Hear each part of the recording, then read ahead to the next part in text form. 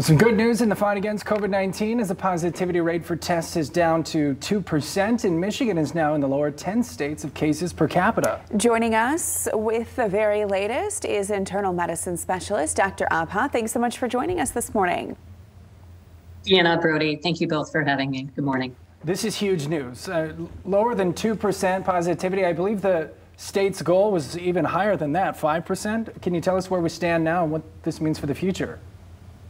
Certainly. Good morning. So typically when we talk about uh, relaxing, uh, you know, the restrictions on gatherings, we're looking at a 5% or less test positivity rate. And we are indeed in Michigan down to 2%. And we should be so very proud of these efforts as promoted by our, you know, in, in, Lansing, our governor telling us, I would like to relax restrictions so long as we push this effort of masking, distancing, and vaccinations. So yes, Brody, it's something to be very proud of. Most definitely.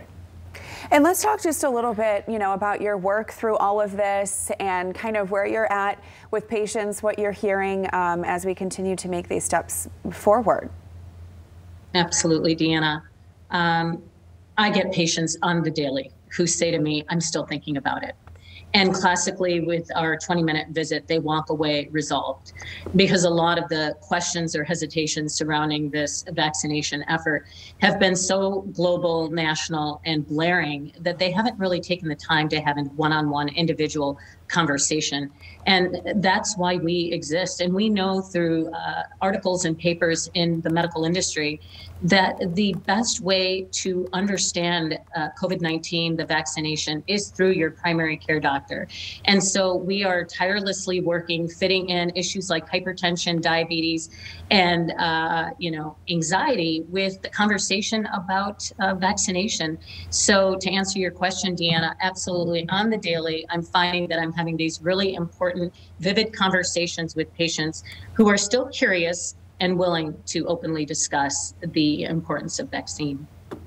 So as we approach July 1st, when we, we loosen restrictions for what's happening here in the state of Michigan, I do kind of want to have a better understanding of what's next. I mean, our goal is to obviously vaccinate 70% of the population or more. Where do we stand now, and what are your goals here in the coming days, months, weeks?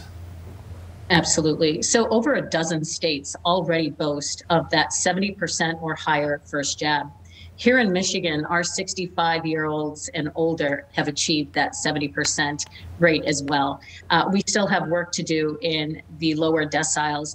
But Brody, imagine uh, the the quicker and faster that we achieve this 70% immunization status, the more prepared we will be entering the fall and winter. Yeah. Make no mistake that variants and mutations will proceed and abound if we do not outpace this virus. And the only way to do so is to say, I'm part of this fight. I understand the imperative and I'm going to get that jab.